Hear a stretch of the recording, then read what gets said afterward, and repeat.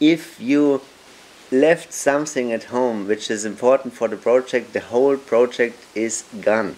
We had to get a private plane from Nassau over here because all the luggage and um, also the flight connections weren't really suitable for what we want to do. it was horrible. You know, I, I hate packing. I hate it. So uh, we took a private plane um, and we uh, had a very good and um, quick connection from Germany um, to Eleuthera.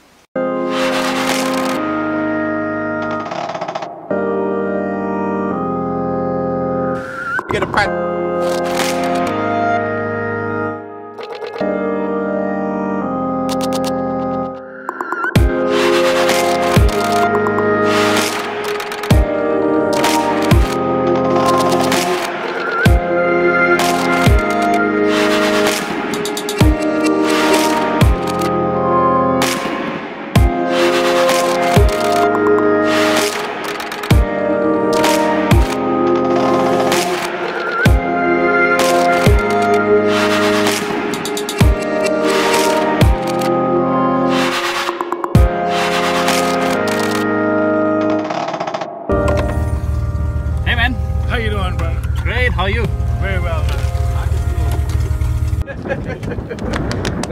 Hey, man. It's great to see you. so I knew we had a lot of gear, and all this stuff keeps coming out of this plane. Out of this plane. I was, the, the truck was completely filled up. So we kind of stuck two guys back there, and Flory and I in the cab, and come to the house. And you start unloading all this stuff, and it's just, it's just everywhere. I mean, it's just all over, everywhere. Staying with uh, Janice and Al, who are wonderful and very warm uh, people welcoming us. Michael um, and Mario were coming a few days later, and so Mace, Christian, and me, we had time together with Al to set up everything. And once we laid out all the equipment on Al's porch, I thought like, okay, that needs some serious planning.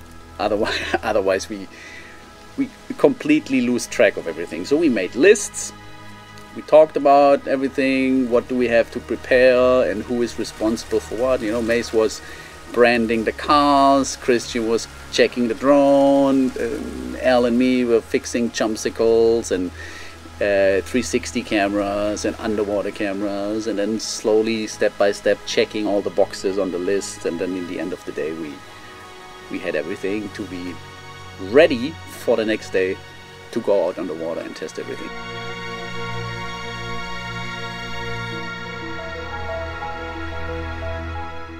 Well, the idea is to have something that attracts the sharks. So we use a five gallon bucket and we suspend this in the center of the bucket and then we fill it up the bucket with pieces of, of fish. The idea with this piece of equipment is that the pieces on the inside uh, the sharks can't get to. They can get to this stuff on the outside fairly quickly. But this piece in the inside stays frozen so it keeps around. So you get your chumsicle that'll last for instead of five minutes. It will last anywhere from 30 minutes to an hour. So you get plenty of opportunity to dive and interact with the sharks.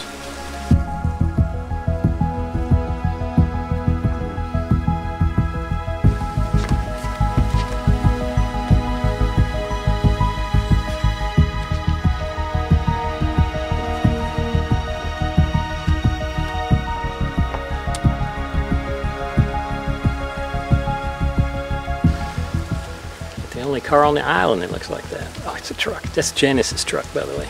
She has the coolest truck on the island. now, the only thing we have to worry about is if we're going or coming back and it's raining, these guys are sitting in the back seat, they might get wet. But that's life on an island, you know.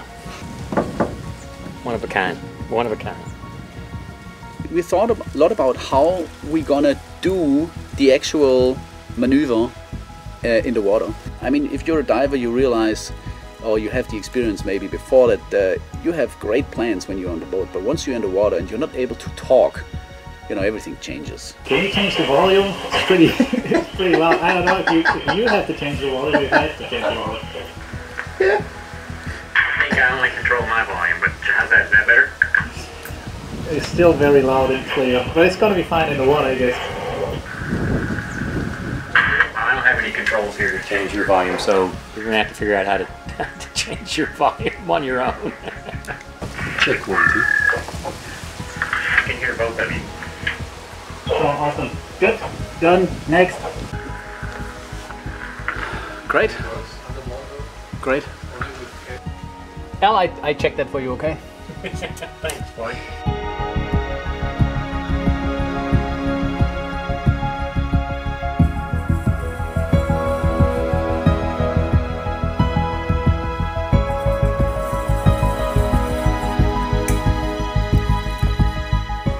Shopping is done. Yeah. Look, it's not even one o'clock, and look at all the things we've got checked off already. Oh, How about the carb ending, Mace? Yeah, it's In process. Christian, did you have anything done?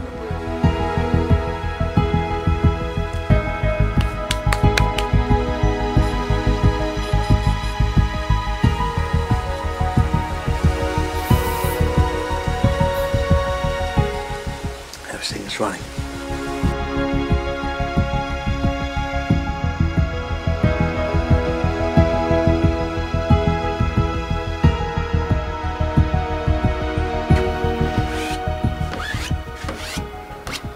It's a wash.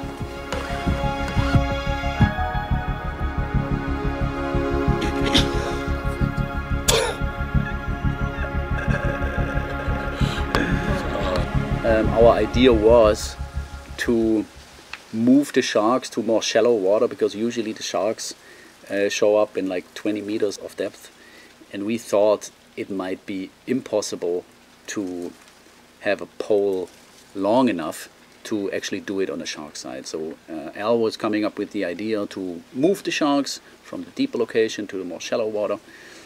And the first day we went out on the water, we went to that location and tested the pole. And we found out very quick that the depth of 10 meter is actually not enough to get that really nice and extended underwater feeling uh, in the shot itself in the end. And that was kind of the biggest uh, drawback. It was not only that it was very difficult to move the sharks from one place to the other because you would ob- obviously lose some of the sharks and you would end up with maybe two, three, four, five sharks, which, which is not uh, not enough um, for us. And so we thought, okay, if there is any way that we can accomplish all that in deeper water, 20 meters uh, of, of depth, that would be much better. I think Sunday or Monday morning, I called Florian. I was like, "Hey, what's going on? Are you there? Uh, are you already testing and figuring out how all that stuff works?" And Florian said, "Everything is fine, but we have to change the whole concept. Uh, we do it with a 20 meters pole." Uh, we had all the spare parts with us, and I, but on the telephone I was like, "What are you talking about? 20 meters? That's ridiculous!" You know, we, we calculated all every, all the, the different parts of the pole, the weight and everything, the weight of the camera, blah blah, to be sure that the drone is able to lift the whole thing up. And then on the telephone, he tells me, we, we're just gonna double that. We didn't know whether the magnet was strong enough. We didn't know whether the, the drone was strong enough. Um, yeah, but we had to give it a give it a try. And the first day out on the water, testing all that, um, was I would say the most interesting day because we learned a lot.